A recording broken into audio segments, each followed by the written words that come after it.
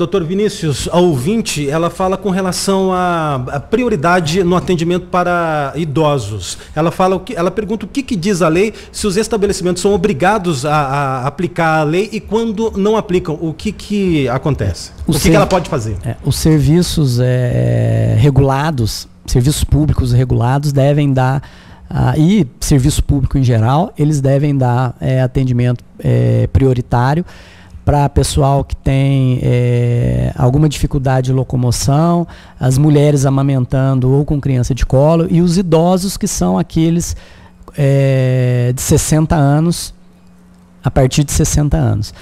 É, há um, uma questão, e aí de âmbito social, é que o número de idosos aumentaram e vão continuar a aumentar. Sim até chegar a um nível de se igualar que se tem previsão que 2020, 2025. Exatamente. Então, quando você ele tem uma fila preferencial, é obrigatório ter, é, vai ter que se emitir uma, um, uma guia de senha preferencial, mas ele vai ter que enfrentar uma fila de idosos. De idosos, exatamente. E isso, que está cada vez maior. Que está né? cada vez maior. Então isso é, acaba dificultando o atendimento, mas é obrigatório serviços públicos em gerais e os regulados oferecerem um atendimento preferencial. Os regulados são o quê? Bancos? Bancos, telefônicas, serviços públicos como luz, água. As lotéricas também tem que ter, né? As lotéricas também tem que ter porque prestam serviço é, financeiro, tá? Então elas são obrigadas a ter também. Caso eles não estejam cumprindo essa obrigação, o que fazer? Ele,